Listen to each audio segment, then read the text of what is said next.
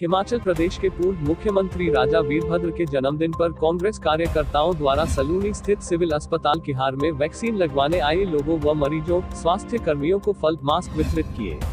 पूर्व जिला परिषद अध्यक्ष चंबा डीएस पठानिया की अगुवाई में मास्क, फल बांटे गए कार्यकर्ताओं द्वारा उनके जन्मदिन को जनसेवा के रूप में मनाते हुए उनकी लंबी उम्र की कामना की गई।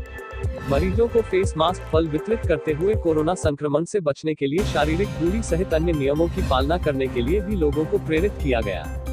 इस अवसर पर डीएस पठानिया पूर्व उप प्रधान किलोट फारूक मलिक, गुलजार आकाश पठानिया सहित अन्य कार्यकर्ता मौजूद रहे। Arya times desk report. Bihar के कम्युनिटी हेल्थ सेंटर में जो पेशेंट आए थे या जो वैक्सीन लगाने आए थे लोग, उनमें उनके जन्मदिन के उपलक्ष्य पर हमारे सभी ग्राम पंचायत के प्रधान उप प्रधान और हमारे जो अन्य कार्यकर्ता हैं, उन्होंने आकर मरीजों को फल फ्रूट बांटे। इसके अलावा सबने भगवान से ये प्रार्थना की कि राजा वीरभद्र सिंह जो कोरोना की बीमारी से पुनः जंग लड़कर ठीक हुए हैं।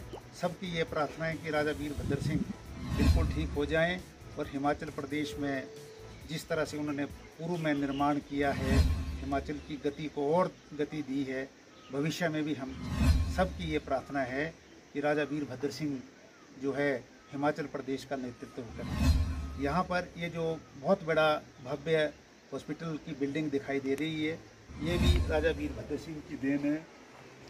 उन्होंने जब यहाँ इस दौरे पे आए थे, उन्होंने अनाउंसमेंट की थी। आज अनाउंसमेंट नहीं, आज ये बिल्डिंग जो है, बनकर तैयार हो गई है। इसी तरह से जो हमारी सीनियर सेकेंडरी स्कूल की बिल्डिंग है, हमारी जो रोडें हैं, चाहे हमारी डांड भसुआ की रोड है, चाहे हमारी मेड़ा जखराड़ की रोड है, कैंथरी भद्रोह की रोड है, बहुत सारी रोडें जो उनके टाइम में जो अनाउंसमेंट की थी।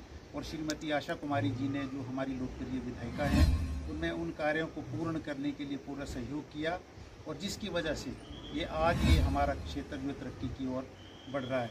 मैं पुनः एक बार फिर राजा वीरभद्र सिंह को उनके जन्मदिन पर यहाँ के क्षेत्रवासियों की ओर से बहुत बहुत शुभकामनाएँ देता हूँ और भगवान से प्रार्थना प्रार्थना करता हूँ कि वो तुरंत स्वस्थ होकर हिमाचल प्रदेश की सेवा करें।